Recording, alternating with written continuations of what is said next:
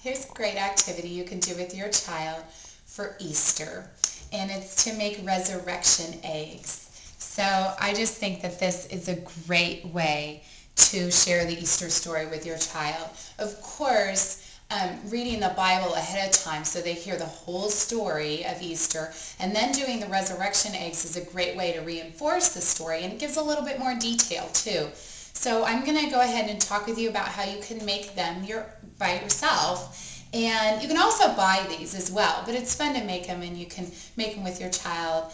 Um, so I'm going to talk with you about how to make them and then I'm going to open up each egg with you and kind of go into detail about them. But the way that I would tell a child, like your child, this story, you know, really simple, age appropriate, not too much information, you know.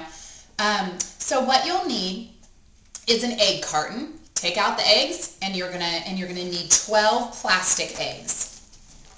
Any colors you want, they don't have to be the colors that you see here.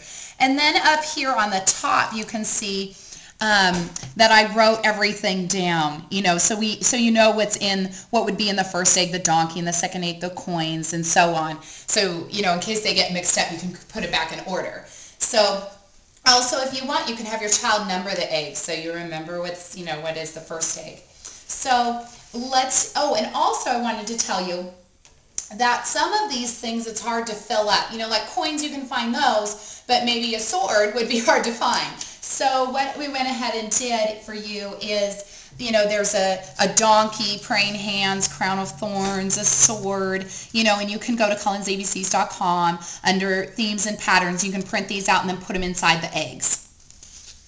Okay, so, and also you'll find on this paper as well is everything kind of in detail. So instead of just saying donkey, it, it says donkey, Jesus rode on a donkey to Jerusalem. So it's kind of like a cheat sheet for you to look at. So I'm just going to go ahead and go through these eggs with you and tell you what's inside and go through this. It'll be what's exactly what's on the sheet as well. So the first egg, great small motor skill too because they're using these muscles in their hand to open the egg.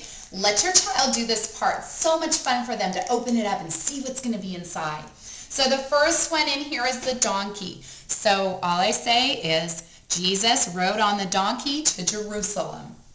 And now there were people, you know, I also talk about how there are people that were happy to see him and there are people that weren't happy to see him. So we'll kind of talk about that. A second one are coins.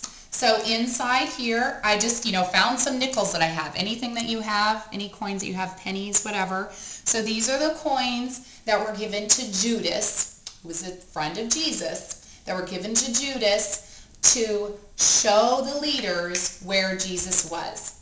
So great thing to talk about too is that Judas is supposed to be a friend of Jesus. And he decided to take money instead of be Jesus' friend. The third one is bread. So this is for the Last Supper. So the Last Supper that Jesus has with his disciples. And what all I did was just take a piece of bread and stick it in the egg, and it's nice and stale now because it's been in here for years.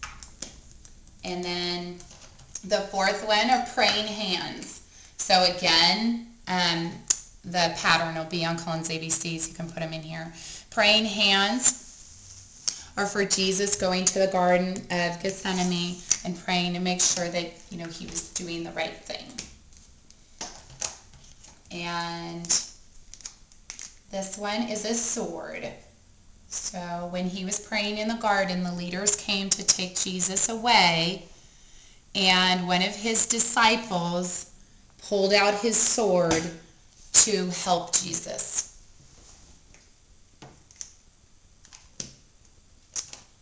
And the fifth one is a crown of thorns. So what I have in here is, you know, something I just clipped from a rose bush, you know, with the thorns on it.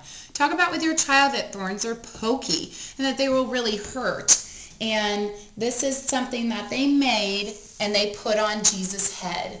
And so then they put it on his head and then he, he was bleeding and he got a bunch of sores and owies all over his body.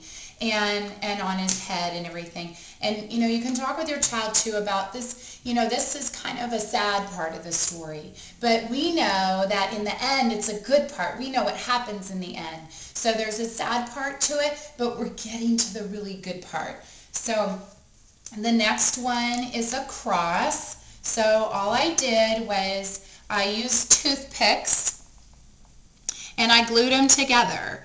So I just, um, so we talk about the cross and how they put Jesus on the cross to die.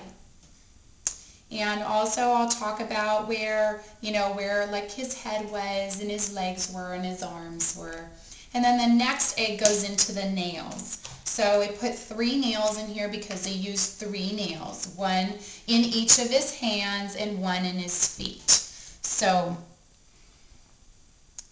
so that's what's in that egg. And then the next one is the sponge. So while he was on the cross, they dipped a sponge into, you know, wine vinegar and went to feed it to Jesus. And so, you know, wine vinegar, that wouldn't taste very good. And so they were, you know, not being very kind to him. And so the sponge, of course, is just from, you know, my kitchen. Just a little piece of sponge there. Okay, getting close, almost done. So this egg is a linen. So, you know, when they took Jesus off the cross, they wrapped him in a cloth. You know, you can also say to your child kind of like a napkin, you know, type thing. They wrapped him up in the cloth and laid him in the tomb. Also, the tomb is like a big cave. They may not understand that. So a tomb is like a big cave, and then they rolled a big stone, like a big rock in front of the cave to um, to make sure that nobody came in to steal his body. And they put guards out in front to make sure that nobody could come in. And then the last egg, my favorite, is empty. So there's nothing inside because on Easter Sunday, Jesus was resurrected. So he rose from the dead and he was alive again. So I hope that you enjoy this Easter story as much as I do.